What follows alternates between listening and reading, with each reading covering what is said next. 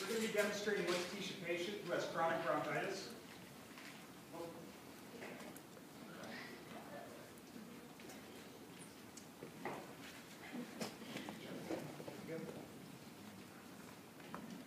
So, Her scenario is a 36-year-old Native American woman with productive cough and wheezing. She wants to know why she feels so tired. So, good morning, I'm Nick. How are you doing today? Well, not so good. I really want to We're going to try to help you out. I'm going to perform a spirometry test to determine how much air you're able to exhale from your lungs and how fast you can get that air out. This test is going to help the doctor determine your diagnosis. I'll show you what to do. So first of all, I'd like you to scoot forward in your chair just a little bit. If at any point during the test you get dizzy or lightheaded, just set the machine in your lap and go ahead and lean back. This machine wants to know how hard and how fast you can move. You're going to take in the biggest breath you've ever taken in your life. Mouthpiece in the mouth, blast the air out as fast as you possibly can, and keep going pretty much until I tell you to stop. The machine's going to beep. If it's beeping, there's air coming out. And a little trick to help you out, so you put the mouthpiece in your mouth, some teeth go over, tongue goes underneath. And I'll coach you through it as you go.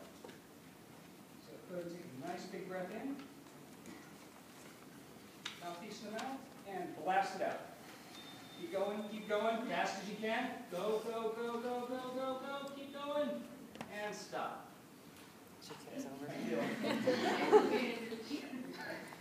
Take a deep breath. Okay. I'm going to take these results to your doctor.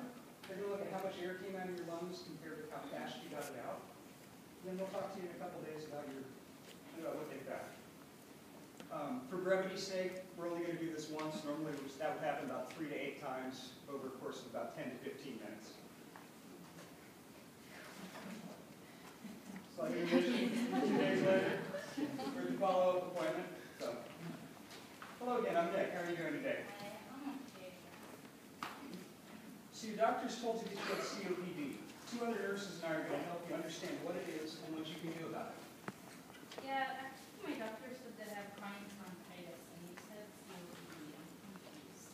COPD stands for chronic obstructive pulmonary disease, and chronic bronchitis is a specific type of disease that falls under that category. So what I'd like you to know is there are a few things happening here. What happens with chronic bronchitis is that something such as smoke dust has repeatedly irritated the lining of your airways, called your bronchi and your bronchioles. These irritants make the cells lining your respiratory tract, they multiply, including the cells that produce mucus. So this growth, combined with the extra mucus, has now reduced the diameter of your breathing passages. Are you coughing a lot? Yeah, I'm, I'm constantly coughing up mucus. Also in healthy bronchi, there are cells, tiny hairs called cilia on the outside of your cells. They work like an elevator that move mucus out of your airways. Smoke or other irritants can destroy the cilia. So in your lungs, the elevator's not working very well. The mucus gets stuck, and you have to cough a lot to get it out. So to recap, your airways are getting smaller and smaller. The extra cell growth and the mucus is stuck. This irritation and congestion makes it harder for you to get air out of your lungs. It causes inflammation and makes you more susceptible